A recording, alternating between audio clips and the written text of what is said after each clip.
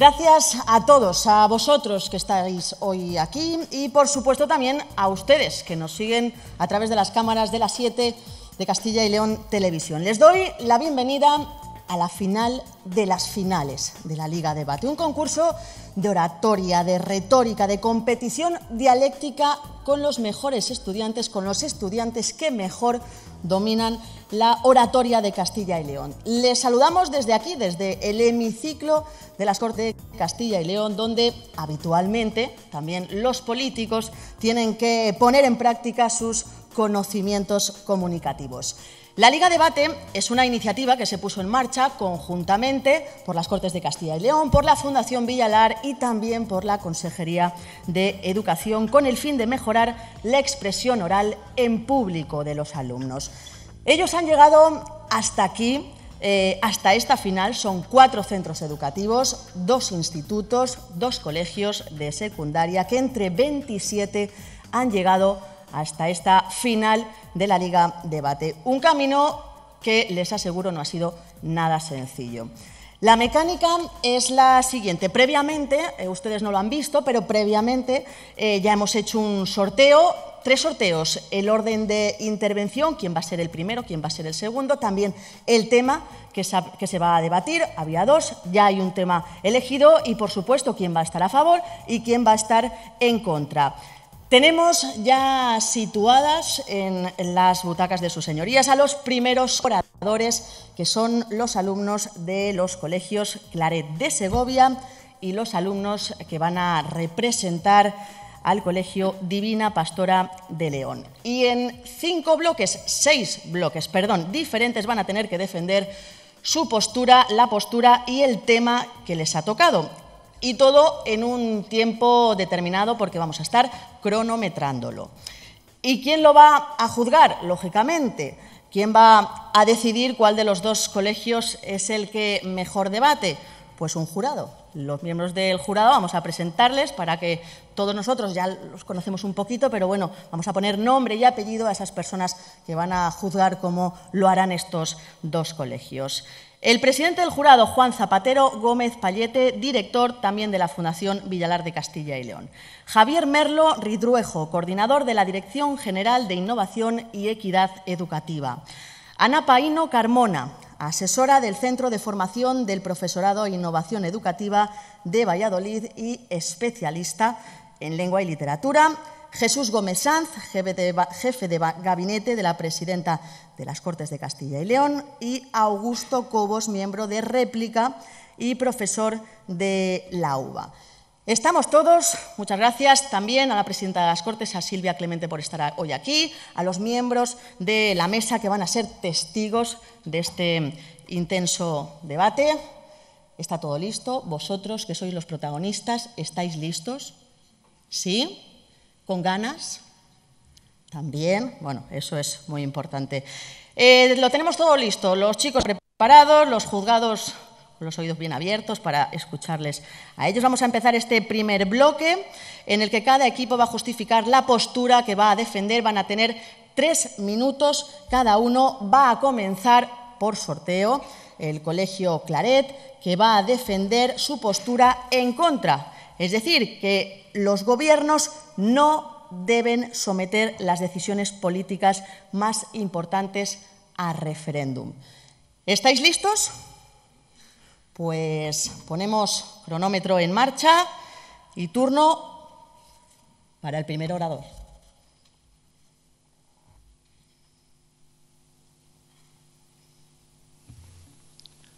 ¿Les apetece viajar conmigo al futuro? Año 2020. Inglaterra fuera de la Unión Europea, España y Cataluña independizada, y múltiples repúblicas presidencialistas en Oriente Próximo y América Latina. No son gobiernos irresponsables los que nos han llevado a esta situación, sino malas decisiones tomadas en referéndum. Buenos días, excelentísimo jurado, público asistente y, por supuesto, equipo debatiente. Mi nombre es Jorge Gil y estos son mis compañeros María Antón, Juan Gómez y Paula Bermejo. Venimos en representación del Colegio Claret de Segovia para demostrarles con sólidos argumentos que los gobiernos no deben someter a referéndum las decisiones políticas más importantes. Como anunciábamos anteriormente, hablamos de la posibilidad de la existencia de un futuro desdichado en función a una pregunta clave. ¿Deben los gobiernos someter a referéndum las decisiones políticas más importantes? Desde nuestro grupo respondemos rotundamente no. Un voto, dos sílabas, cuatro letras, un pequeño trozo de papel en el que encontramos un sí o un no. Elementos muy sencillos que, sin embargo, pueden determinar el transcurso de una nación. Bien, podrían estar pensando que lo que acabamos de enunciar puede ser utilizado en la postura contraria, pues el transcurso de una nación puede ser para bien o para mal. Sin embargo, según nos ha demostrado la historia, en el caso de los referéndums nunca es para bien. Si no, fíjense en los numerosos ejemplos, como el caso de Venezuela o el Brexit, en el que este tipo de consultas han sido realizadas, con resultados nada beneficiosos, ni siquiera esperados, sino al contrario. Por eso, seguimos y seguiremos defendiendo que los gobiernos nunca deben someter las decisiones políticas más importantes a referéndum. Por otro lado, por otro lado, los referéndums también conllevan una serie de consecuencias negativas desde un punto de vista económico. En primer lugar, la celebración de este tipo de consultas conlleva una serie de gastos que son financiados por medio de fondos procedentes de las arcas públicas. A esto se le une, en muchas ocasiones, la falta de conocimiento sobre los temas planteados, así como las irregularidades que pueden cometer los gobiernos atrayendo los temas planteados hacia su propio beneficio político. Para defender nuestra tesis nos basaremos en tres argumentos. Uno, la esencia representativa de la democracia. Dos, el carácter conclusivo de los referéndums.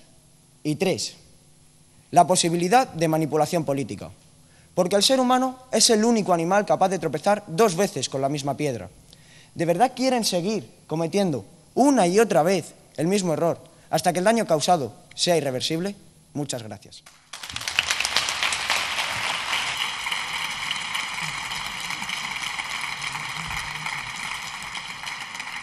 Bueno, pues el Colegio Divina Pastora tiene tres minutos para atacar ese argumento, cuando quieras. Una democracia sin el pueblo es como un mar seco o un río sin cauce. He decidido comenzar mi discurso con esta frase porque refleja cómo es hoy en día una democracia sin el pueblo, sin la opinión de los votantes, sin referéndums. Buenos días, me llamo Malena González y desde, nuestro equipo nos gustaría recalcar que la cuestión que hoy aquí nos planteamos es si los referéndums aplicados al actual régimen democrático pueden fortalecer o no nuestra democracia. Y señores, con total seguridad les digo que esto es posible, que es necesario. Los referéndums benefician a toda la población, ya que permiten expresar la opinión política de la ciudadanía, pero no como en unas elecciones, sino que nosotros, los ciudadanos, podemos tratar directamente nuestro punto de vista sobre un tema. Con el transcurso de los años se ha generado un aumento en el uso de referéndum y así lo ha afirmado Mendelssohn y Parkin, dos editores del conocido libro Referendum Democracy.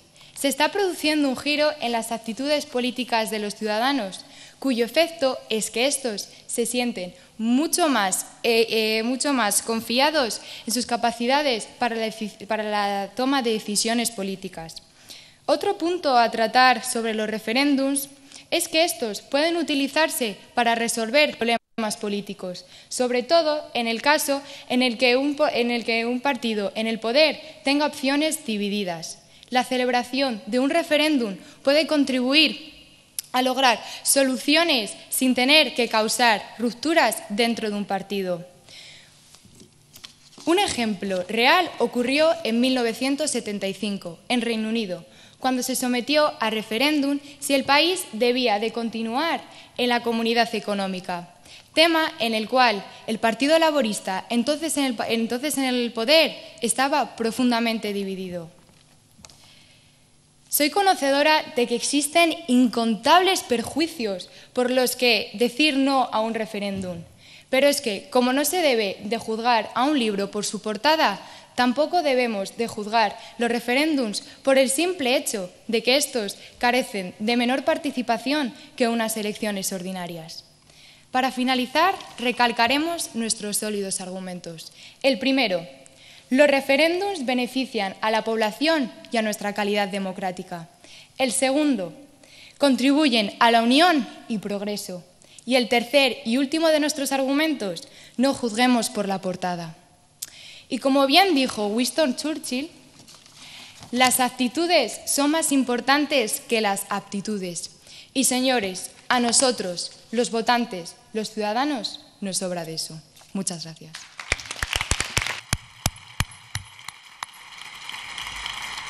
Madre mía, los profesores tenéis que estar orgullosos de estos alumnos. Yo dentro de unos años os auguro trabajo, desde luego, aquí donde estáis sentados, ¿eh? como, como políticos. Madre mía, qué bien lo habéis hecho. Bueno, eh, fuera los nervios ya, ¿no? Ya hemos soltado esta primera, esta primera parte del debate. Vamos ahora con, con la segunda, en la que cada equipo va a hacer una exposición de datos y de argumentos. Van a ser cuatro minutos, ya lo sabéis. Y de nuevo eh, comienza el Colegio Claret con su posición en contra. Cuando quieras. Buenos días. Mi nombre es María Antón y junto a mi equipo vengo a demostrarles que los gobiernos no deben someter a referéndum las decisiones políticas más importantes. Para ello me basaré en nuestros tres sólidos argumentos. La democracia real tiene esencia representativa el carácter conclusivo de los referéndums y la posibilidad de manipulación política. Una democracia defiende la soberanía del pueblo y el derecho de éste a elegir y a controlar a sus gobernantes. El cargo principal de los cargos electos es el de representar a aquellos que, efectivamente, les han elegido. Esta es la esencia de toda democracia. Entre todos formamos a un Parlamento que representa las ideas de cada uno de los ciudadanos y le encomendamos la misión de legislar para que el país se desarrolle, evolucione y crezca. Permítanme poner como ejemplo la conocida reforma del artículo 135 de la Constitución. En septiembre de 2011, PP y PSOE pactaron un cambio que afectaba directamente a la, estabilidad presupuestaria del país. En 2011, España se encontraba inmersa en uno de los peores años de la crisis. ¿Cuánto tiempo creen que se hubiese dado en que el Congreso de los Diputados autorizase al presidente del Gobierno para que solicitase al rey la propuesta de un referéndum y que éste se llevase finalmente a cabo? ¿No creen que hemos elegido a nuestros representantes para que tomen este tipo de decisiones por nosotros? Puesto que la democracia real tiene esencia representativa, nosotros creemos que los gobiernos... Un minuto más, ¿eh? Está marcado mal. Vale. No deben someter las decisiones políticas más importantes al referéndum. En segundo lugar, el carácter conclusivo de los referéndums. No hace falta, ¿verdad?, ir muy lejos para encontrar un país en cuyas elecciones los resultados hayan sido muy ajustados. Al ser una democracia representativa, esto no supone un grave problema, ya que se realizan elecciones cada cuatro o cinco años. Sin embargo, un referéndum tiene carácter definitorio y su resultado será decisivo e irreversible para la situación política de un país. Pongamos como ejemplo el caso del Brexit. Los ingleses votaron para que Reino Unido saliera de la Unión Europea. Ganó el sí con un 51,9%. Sin embargo, el otro 48,1% de la población quedó disconforme con esta decisión. Esto genera un malestar en la sociedad y podría inspirar un ánimo de revancha en los que han perdido, generando así inestabilidad en el país. Para que este tipo de situaciones de inestabilidad no ocurran, los gobiernos no deben someter a referéndum las decisiones políticas más importantes. Y por último, la posibilidad de manipulación política. Los referéndums son magníficos, sí, magníficos instrumentos de manipulación política. Los motivos para convocar un referéndum no siempre tienen que ver con la pregunta que se les formula a la población. Un gobierno puede convocar un referéndum en busca de cualquier beneficio, como podría ser desviar la atención o esconder un asunto que les perjudique o ganar cierta popularidad. Basta con abrir la prensa cualquier día para encontrar numerosos ejemplos actuales en los que los referéndums son utilizados de esta manera. Venezuela, Turquía, Irlanda e incluso nuestro propio país.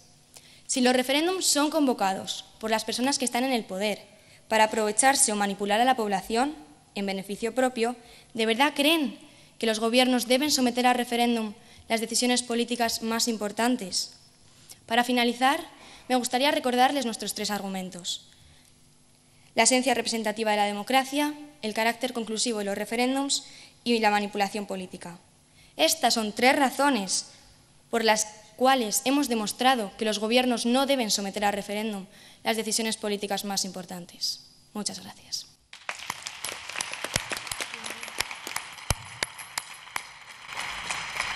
Bueno, tiempo ahora para el contrincante, para derribar ese argumento. Colegio Divina Pastora, tenéis cuatro minutos que empiezan cuando quieras. Los referéndums han sido claves a lo largo de toda la historia. Y así lo podemos ver. Vale, un segundito porque no nos funciona. Espera un momento que no funciona por primera vez. Ya, ahora sí. ¿Ahora? ¿Lo tenemos? Venga, pues cuando quieras. Los referéndums han sido claves a lo largo de toda la historia. Y así lo podemos ver reflejado en estos tres, en estos tres ejemplos que les voy a presentar. El primero de ellos, el ejemplo del referéndum celebrado en Noruega en 1994, en el que se decidió no entrar a la Unión Europea con un 52,5% de los 3,2 millones de electores frente a un 47,5% que se decidió por el sí. También ocurrió algo parecido en 1995, cuando se sometió a referéndum en el estado de California si se deseaba, si se, si, se deseaba, si deseaban separarse de Canadá y formar un estado independiente pero el movimiento separatista de Canadá fue anulado por 54.228 votos, un margen muy estrecho de votos. Y por último, quería recordarles el caso de nuestra actual Constitución española, que fue ratificada en referéndum el 6 de diciembre de 1978 y aprobada con un 87,78% por todos los ciudadanos españoles. Buenos días, soy Alejandra Puente Carmona y hoy, como ciudadana española, digo un rotundo sí a que las decisiones más importantes se, sometan a referéndum. Y con esto, a que los ciudadanos expresen su opinión política y se les haga partícipes en la vida pública. Después de esta breve introducción, procederé a exponerles nuestros tres argumentos a favor de los referéndums. El primero de ellos. Este se basa en que los referéndums son un, medio, son un instrumento de política que nos permiten conocer la opinión de la ciudadanía sobre un asunto en concreto. Estos constituyen también una oportunidad para que los ciudadanos se informen, analicen las ventajas y las desventajas de cada una de las opciones y se construyan una opinión. Puede servir así para crear ciudadanos más informados y más responsables políticamente. En cuanto a nuestro segundo argumento, decimos que los referéndums contribuyen a la unión y al progreso y a la unión y al progreso y además ayudan a evitar los abusos de poder por parte de los políticos. Un ejemplo que nos presentamos es el que les ha comentado mi compañera anteriormente, el caso del referéndum celebrado en 1975 en el Reino Unido, sobre el cual, sobre el, cual el, tema, el Partido Laborista estaba profundamente dividido sobre el tema si se debería o no permanecer en la comunidad económica. Este fue un ejemplo de un medio de unión para solventar las grietas que se estaban provocando en ese mismo instante en el partido.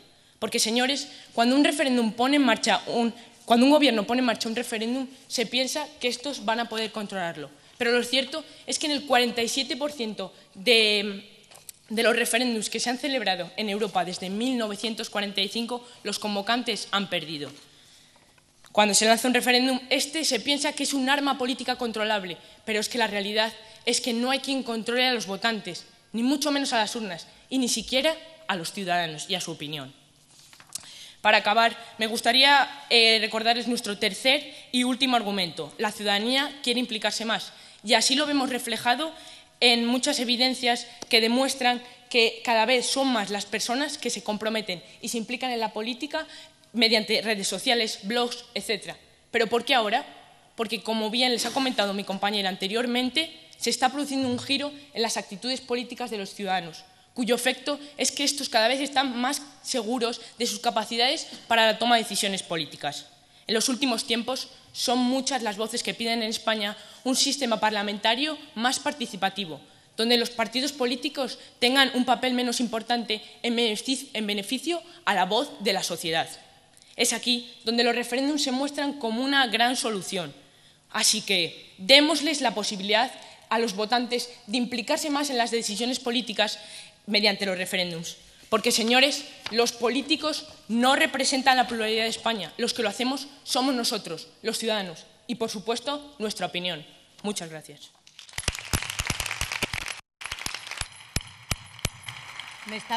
Me está, pasando algo curioso que creo que nunca me había pasado, no sé si también a los miembros del jurado, incluso a los miembros de la mesa, de repente escuchas una opinión y dices, pues sí, es verdad, pues tienen razón, ¿no? Pero oye, que es que luego otro y dices, bueno, entonces tengo un lío con esto del referéndum, que no sé si es la solución o no. Pero bueno, tenemos tiempo ¿no? con el debate, así que bueno, vamos a, vamos a seguir.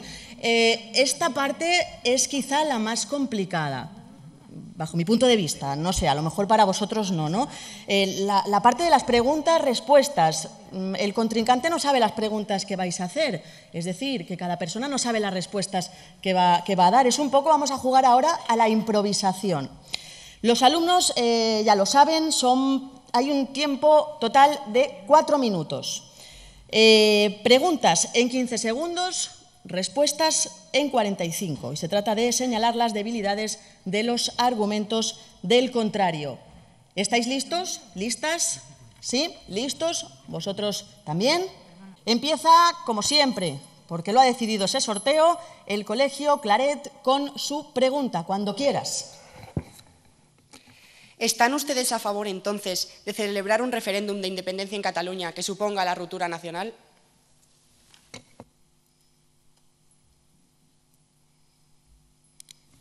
Lo que estamos defendiendo hoy aquí es que la voz del pueblo sea escuchada, de que nosotros seamos los que decidamos nuestro futuro, con lo que vamos a convivir los próximos, quién sabe, cuatro años, cinco, quizás toda la vida.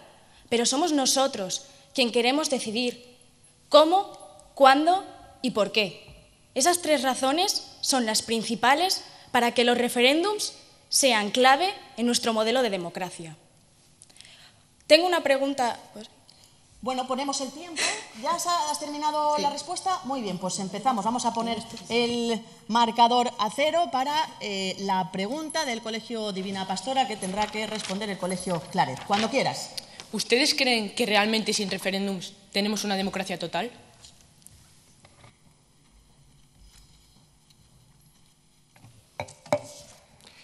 Les quiero reiterar que el pueblo es el papel clave de la democracia. El pueblo ya tiene voz. El pueblo vota cada cuatro años para elegir a sus representantes. Por ello creemos que los referéndums no son necesarios. El pueblo delega su responsabilidad al gobierno. El gobierno es el responsable de las decisiones políticas. Muy bien, ponemos el tiempo a cero. Ahora es vuestro turno, Colegio Claret, para preguntar quién se anima. Venga. Ustedes dicen que los referéndums son la voz del pueblo. Si bien es cierto que en muchas ocasiones en estos referéndums realizados solo la participación ha sido mínima. Entonces, ¿cómo justificarían que esos referéndums sean la voz del pueblo? Gracias.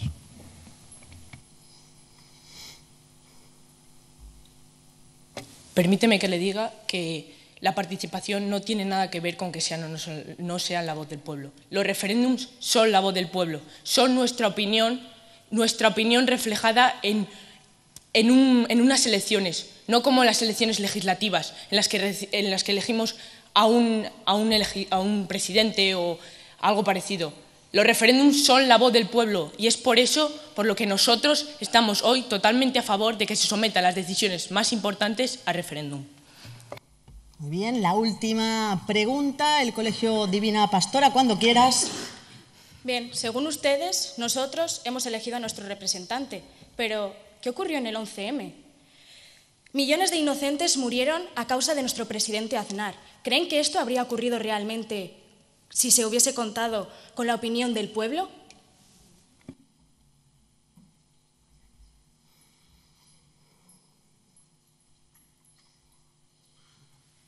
No podemos hablar del 11M como una cuestión en la que el responsable fuera un presidente o un político. Eso es ajeno a la política, es un atentado terrorista. Las fuerzas de seguridad no estaban preparadas en ese momento para algo así. Por lo tanto, no podemos responsabilizar y delegar toda la responsabilidad en una única persona, cuando en realidad nadie podía esperar en ese momento algo así. Muchas gracias. Bueno, muchas gracias. Un fuerte aplauso.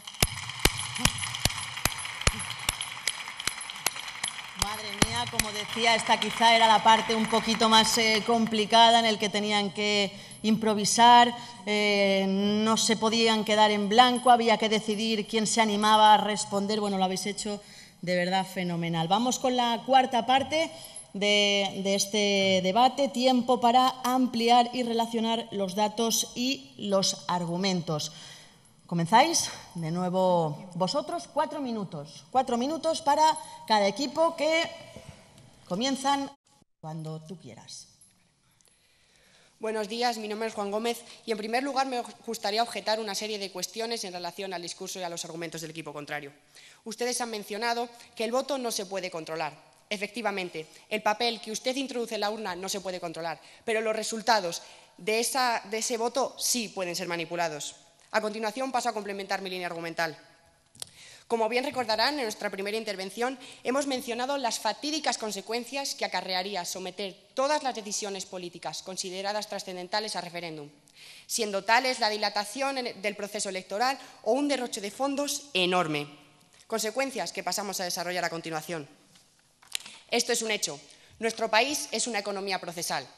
Una economía procesal se define como la aplicación de un criterio utilitario en la realización empírica del proceso con el menor desgaste de la actividad jurisdiccional.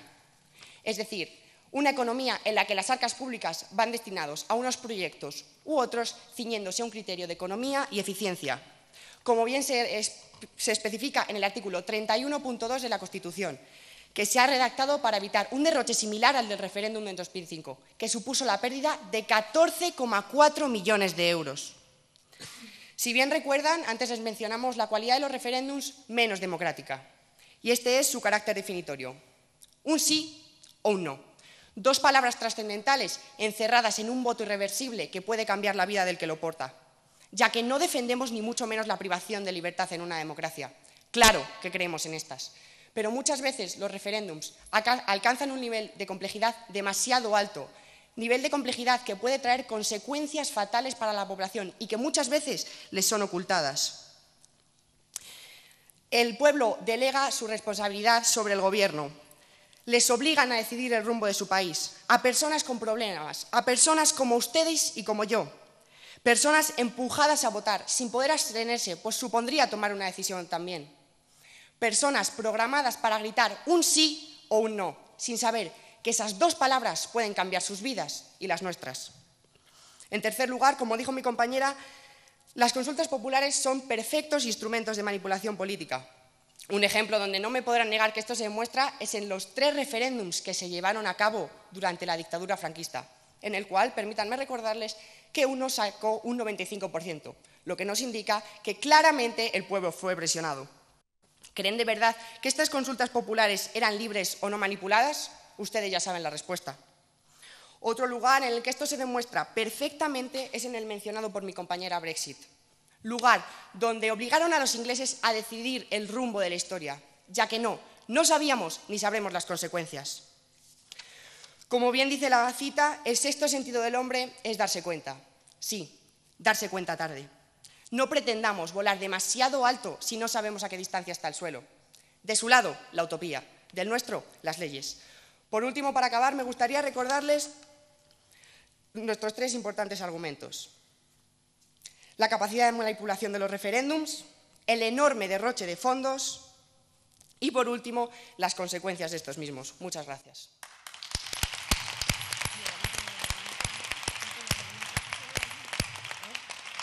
Es el turno del Colegio Divina Pastora, cuando quieras. Bien, para comenzar mi turno de refutaciones, me gustaría enseñarles una frase. A veces parece que vivimos en una dictadura camuflada en una democracia. Y esto, señores, es un hecho. ¿Saben ustedes por qué? Para, este argumento me gustaría enseñarles lo que significa democracia, el significado que éste tiene hoy en día. Forma de gobierno en la que el poder político es elegido, es ejercido por los ciudadanos, es decir, por nosotros. Sin los referéndums Déjenme decirles algo. La democracia no sería posible. Para continuar mi turno de refutaciones, me gustaría recalcar que han nombrado muchísimas veces lo de la manipulación, pero según dijo el profesor Stephen Tierney, en la Universidad de Edinburgh, no hay una evidencia que demuestre que un referéndum, por definición, es más abierto a la manipulación de las élites que unas elecciones. ¿Por qué los referéndums sí pueden ser manipulados y por qué unas elecciones no? Si lo que estamos ejerciendo es lo mismo, nuestro derecho al voto, que nuestra opinión sea escuchada. ¿Por qué? Para continuar, me gustaría decir que buena parte de la ciudadanía sí que quiere estar implicada en las decisiones políticas, porque nos influyen directamente. Nosotros vivimos día a día con lo que nosotros queremos decidir, con lo que nosotros proponemos en los referéndums. Para continuar, me gustaría que tuvieseis en cuenta la lejanía de los políticos en cuanto a la vida diaria de un ciudadano. Hace unos años se le preguntó en una entrevista al señor Zapatero que cuánto pensaba que costaba un café en una cafetería de Madrid. ¿Saben ustedes cuánto dijo que costaba? 80 céntimos. ¿Creen realmente que un político tiene conciencia de lo que sucede en las calles? Evidentemente que no. Y para eso estamos nosotros hoy aquí, para defender el rotundo sí a favor de los referéndums. Para continuar, me gustaría decirles que en España, últimamente, el referéndum está muy de moda, principalmente por la crisis política que tenemos. Son muchas las voces que dicen que deberíamos ampliar nuestra democracia, que la voz del pueblo debería ser escuchada, ya que es la más importante. ¿Y cómo, cuál es la solución mágica a estos problemas? Los referéndums. Siempre son los referéndums. Para continuar, me gustaría ponerles un ejemplo un poco más cotidiano, con el que todo el mundo se siente identificado. A principio de curso, en todos los colegios, se elige un delegado. ¿Se imaginan ustedes que un delegado no contase con la opinión de la clase a la hora de poner trabajos, poner exámenes, las excursiones? ¿Qué pasaría entonces si nadie contase con la opinión de nadie y solo realizasen por sus propios intereses? No habría democracia. Esto es lo que estamos defendiendo, porque decimos sí a los referéndums. Para finalizar mi alegato, me gustaría decirles una breve pero concienciante frase. Vote sí o vote no, pero vote con conciencia. Muchas gracias.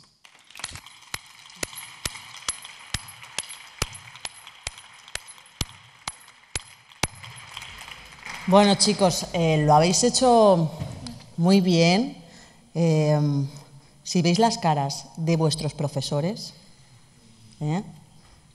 orgullosos, angustiados, nerviosos, con la mano aquí. Estabais nerviosos, vosotros también, pero lo han hecho mejor imposible, ¿verdad? Mejor imposible. Bueno, ahora tenéis un minutito, ya, ya podéis ir aprovechando, para hablar aquí, in situ, eh, bueno, de la posición final, sí, un, minutito, pero como, como mucho, nada, eh, cuatro palabrillas, eh, os da tiempo poco más. Así que irlo aprovechando. Ellos tienen un minuto para bueno, sacar sus propias conclusiones, defenderlas en la última fase de esta liga debate. Es la última prueba donde lo vais a tener que, que, dar todo para alzaros con el premio de los mejores oradores. Dime, ¿son tres minutos cuándo? Ah, ahora tienen tres minutos cada uno para defender. Sí, sí, no, pero quiero decir, sí, nos hemos liado. Esto del directo también pasan estas cosas. Eh, ahora tienen, nada, un minutito para, para, charlar entre ellos, pero que efectivamente las conclusiones son tres minutos para un colegio, tres minutos para otro colegio. Vale, bueno, mientras eh, ellos eh, discuten, eh, ¿qué os ha parecido?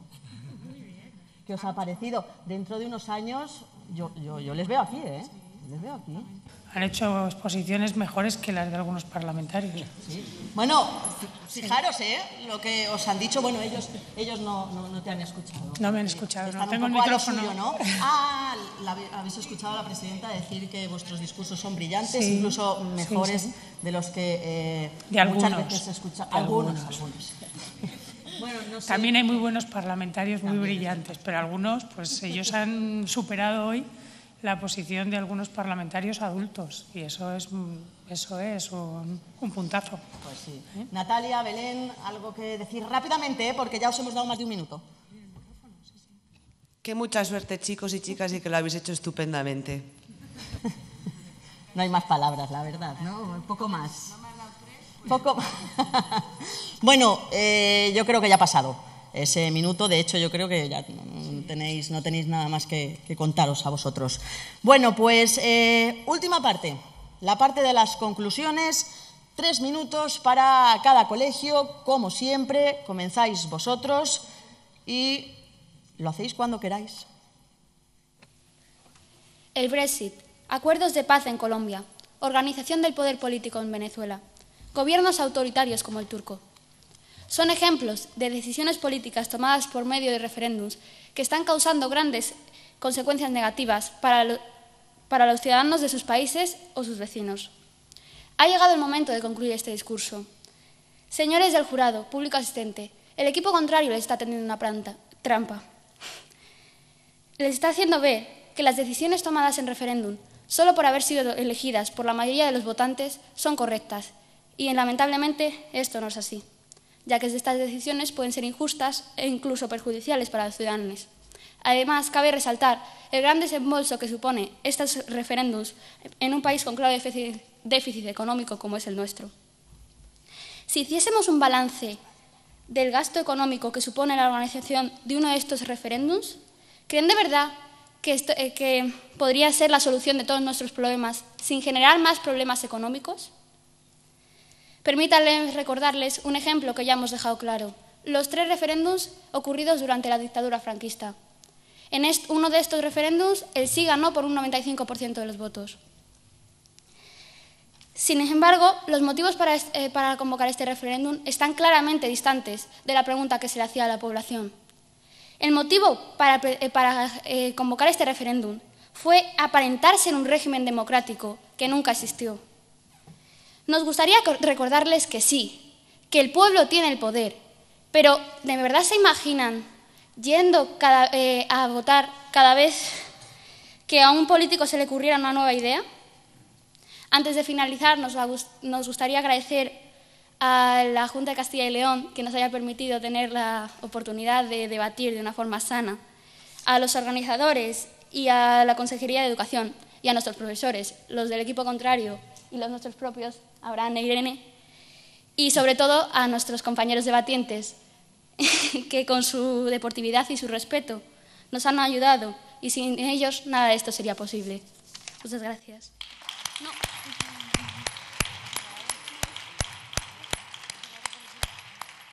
Por lo, por lo tanto, con nuestros tres sólidos argumentos, la esencia representativa de la democracia, el carácter no conclusivo de los referendos y la posibilidad de manipulación política, queremos demostrarles que no, que los, políticos no deberían someter todas las decisiones importantes a, a referéndums. Porque, porque no necesitamos votar mucho, necesitamos votar bien. Buenos ciudadanos que ejerzan responsablemente su derecho a voto para elegir buenos gobiernos que tomen buenas decisiones. No caigan en la falacia de pensar que votar mucho implica mucha democracia. Muchas gracias.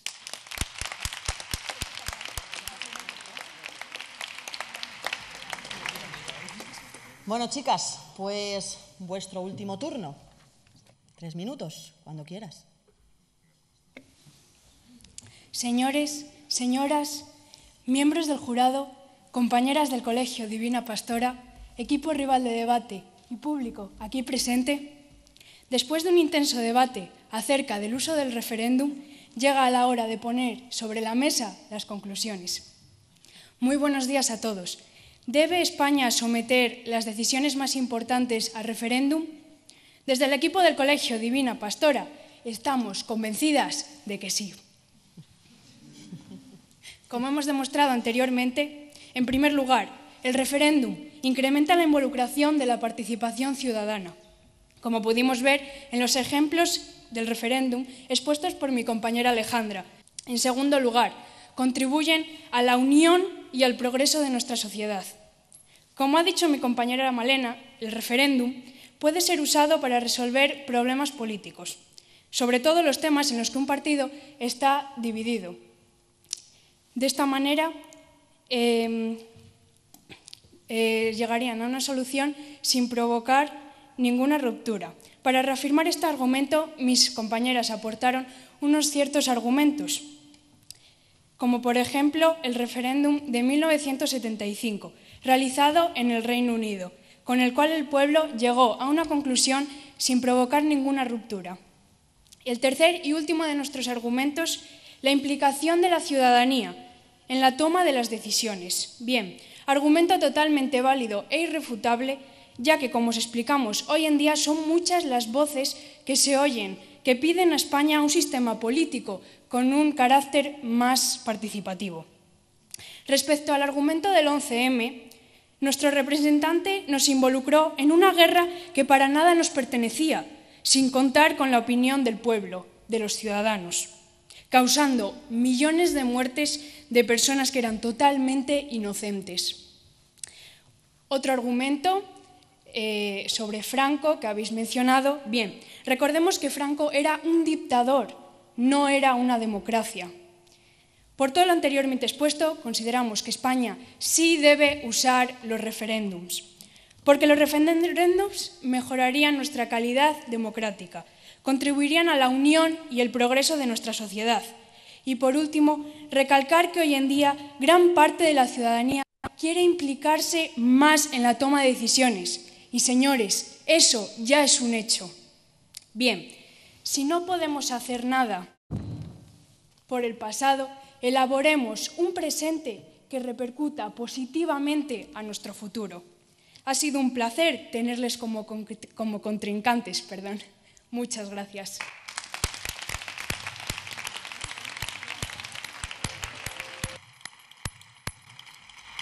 Bueno, muchísimas gracias a todos los que habéis hablado, lo habéis hecho fenomenal, no solo habéis elegido las palabras adecuadas, sino lo que la puesta en escena ha sido buenísima, ese lenguaje no verbal tan importante para comunicar, para llegar al otro que muchas veces se nos olvida, lo habéis manejado a la perfección. Bueno, eh, hasta aquí el debate. Ya, se acabó. Eh, ahora es vuestro turno el turno del jurado que tiene que decidir, bueno, quién ha estado más fino en este, en este debate. Y mientras eh, el jurado sale a debatir, nosotros nos vamos a ir a publicidad, pero no sin antes también darles las gracias a los miembros de la mesa y a la presidenta de las Cortes de Castilla y León por haber estado aquí con nosotros. Muchísimas gracias a todos por habernos acompañado y a ustedes eh, les veo dentro de unos minutitos con otro debate, con alumnos de bachillerato. Veremos a ver cuál es el tema a debatir y finalmente luego el sorteo. Hay que saber quién gana. Muchas gracias. Les vemos en un minuto.